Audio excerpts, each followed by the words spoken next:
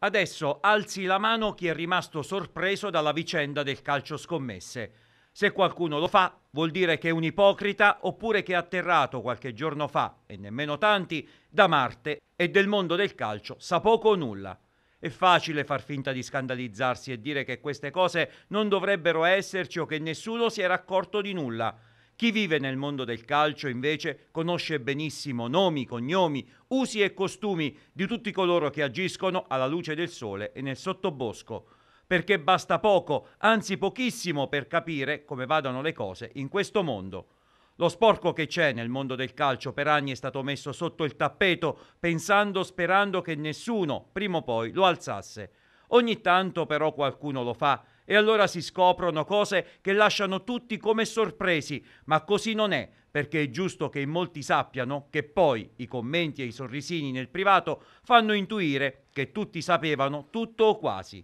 Ma tutto questo ce lo potevamo aspettare. Non siamo inglesi che sono pronti a scommettere su tutto, anche sul colore del primo vestitino del Royal Baby, senza che qualcuno pensasse di essere più furbo degli altri. Nella terra di Albione si scommette da una vita e questi scandali non ci sono mai stati.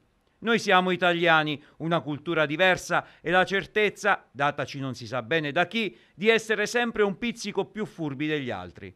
Introdurre le scommesse legalizzate non ha fatto altro che amplificare un malcostume che c'è stato da sempre di puntare sulle partite. E se prima era nelle mani della malavita, adesso c'è anche la possibilità di fare soldi facili alla luce del sole sempre però manovrando cose che possono essere manovrate.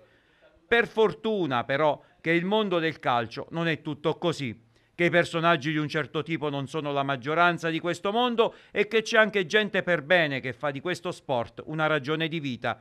Sono loro che dovrebbero preoccuparsi di più e fare in modo che lo sporco venga fuori alla luce del sole. E per farlo c'è un solo modo, denunciare chi fa dell'imbroglio e della illegalità una ragione di guadagno. E il discorso riguarda anche chi come noi fa comunicazione. Se così non fosse, allora ha ragione l'osservatore romano quando scrive che così non si può più andare avanti. Fermiamo tutto, ripuliamo e poi ripartiamo.